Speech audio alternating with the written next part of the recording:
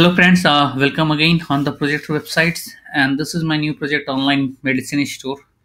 And I have developed this project in PHP and MySQL. And the version I am using is PHP version 7 and the MySQL version is 5.6 and currently I'm running this project in the XAMPP server. But you can configure this project in the WAMP server or XAMPP server also. Also you can run this project on Linux environment Windows environment as well as your Mac operating system so for running this project in the Linux environment, you need the LAMP. For a Mac, you need WAMP, and for Windows, you can WAMP. You can use the WAMP or the XAMPP server. Okay, so this is all about the server technologies. For frontend, I am using the HTML, CSS, and JavaScript. I am not using any Bootstrap themes, and this theme is not responsive. Means this is a very basic template and also this is a single user role based system. Means there is no role of the admin in this project.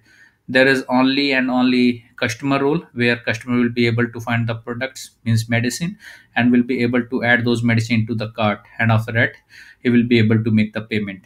Okay? So let's start with the functionality of this project. So this is the home page of the project. And as you are seeing these are the medicines are coming just below the banner. So these medicines are coming from the direct uh, coming from the database directly. And if you want to add more medicines in the project then you can easily add from the php my admin. There is no admin interface for adding those medicine. Okay so if you want to see the details of that medicine just click on the medicine and you will be able to see the details of the medicine. And all the medicine which is related to that medicine will be listed here. Means this all related medicine. This is the medicine photo right if you want to add this medicine to cart just click on the add to cart. But for adding to cart or for making the payment you must have the user you must have the login inside the system.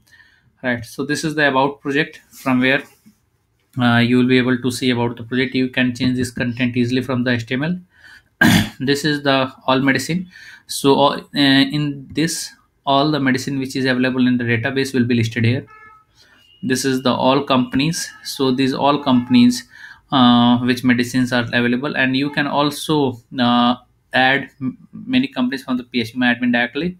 And these all pages also coming from the database directly. If you want to search all of the mankind medicine just click on that company icon. And after that you will be able to see the list of that medicines again the all types then what type of tablets capsules syrups. So if you want to add the syrups then you will be if you want to see the syrups then you will be able to filter the records from here right? If you want to click the tablets then those tablets will be come here. So these medicines are the filtered medicine. Again this is the login from where customer will be able to log inside the system. This is the register page from where customer will be able to registration if that customer has doesn't have the user id and password. This is the contact us page. Again uh, this is a static page. I am not saving the data of this contact us page anywhere in the database right? So let's start with the login. So i have the login and i'm logging inside the system. This is the customer page customer dashboard. Now i'm going to add some of the order.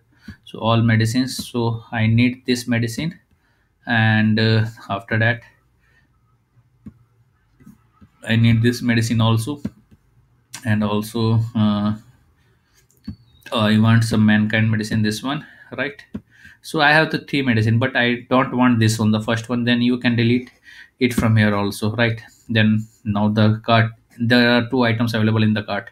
So i have added three pieces here. So the cost of each item is 180 and the cost of three items will be 540 right?